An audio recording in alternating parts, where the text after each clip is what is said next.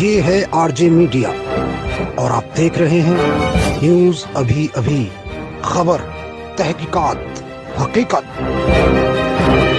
सहारनपुर पहाड़ी इलाकों में मूसलाधार बारिश के चलते घाट की नदियाँ उफान पर नदी को पार करते समय कार पानी के तेज बहाव के बीच फंसी कार सवार लोगों ने भागकर बचाई जान। ग्रामीणों द्वारा कार का रेस्क्यू जारी रेस्क्यू करने आए पिकअप भी पानी के बीच फंसी थाना मिर्जापुर के बादशाही बाग की नदी का मामला।